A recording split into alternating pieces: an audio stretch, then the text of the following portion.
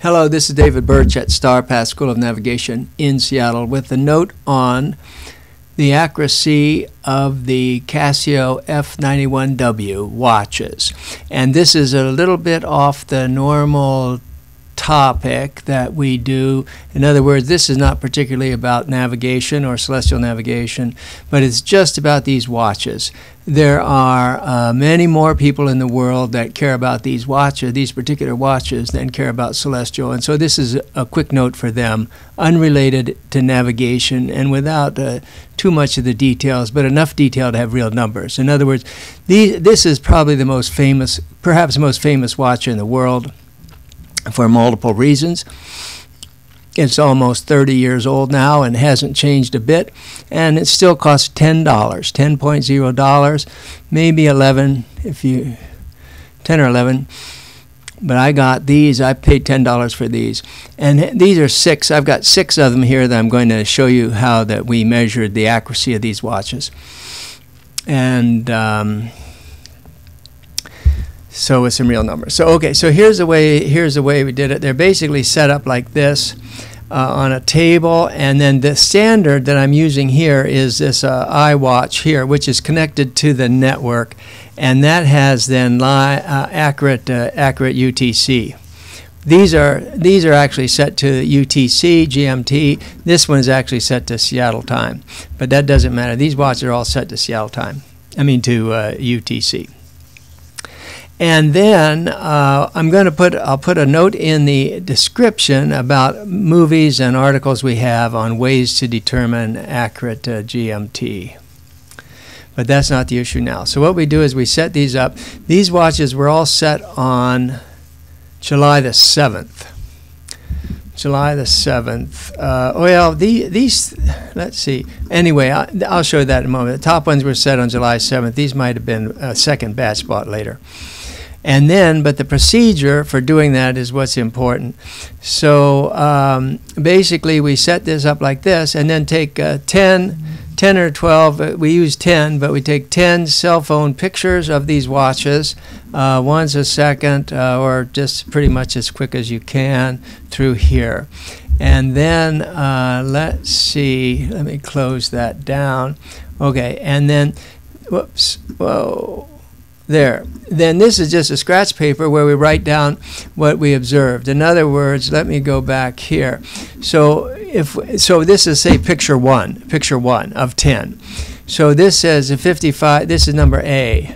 5549. So this is the right time. So you see what we would write down at this moment here is that this watch has a correction of plus two seconds. So this would be plus two. This is 47. That would be plus 4. This would be uh, minus 2.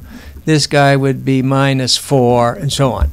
So that's what you write down on this page here. So that's the first picture, all 10 pictures.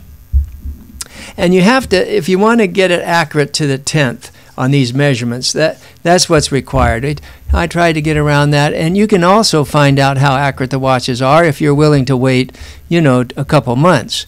But if you want to do it in two weeks or four weeks, then you really have to take into account the tenths. Now, then you average these numbers here. So you see this column here, you would just say there's 10 of these. So I just add this up. That's 10 times 2 is 20, 21, 22 divided by 10, that's plus 2.2. This is uh, 40, 40, uh, 39, 38, 37, 36. So that's plus 3.6. So you see, it's very easy to figure out what these averages are. And then that, those are, so that's then what we would call the error in the watch on this particular date. Then we go to, oh, here's another, I just made a note on that. Um, if you want to get accurate uh, time on the phone, you can call that number. Okay, now I go to a spreadsheet here to show the results and then we're done. Let me see. Okay, so then these all go into a spreadsheet like this.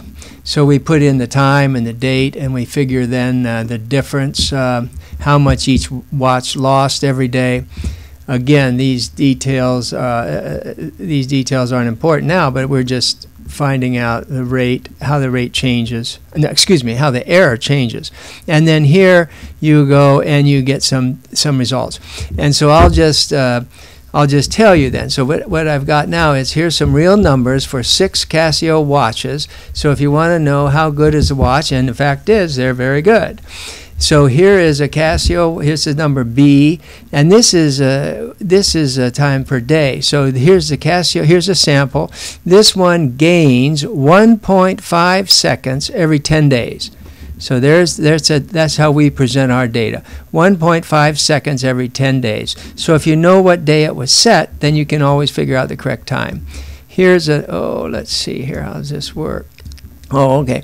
Here's another one. So that's 1.5 seconds. This is 1.6 seconds. This one is, oh, actually, this one's losing 1.6 seconds every 10 days. That's gaining 1.5 for 10 days. That's losing 1.6 per 10 days. That's a Timex. We don't. Oh, by the way, look at this Timex. It's about twice as bad. But anyway, we don't care about that now. But here's another Casio. 1.2 seconds it's gaining 1.2 seconds per 10 days. Now that three, those, those three were in the first batch. This is the second batch that we bought. And now this one, look at this. This is gaining, this Casio is gaining, now we don't have as much data, 25 days, but this one is gaining 0.2 seconds every 10 days. 0.2 seconds every 10 days. This one is 0.9 0.9 seconds every 10 days, and this one is losing 0.9 seconds every 10 days.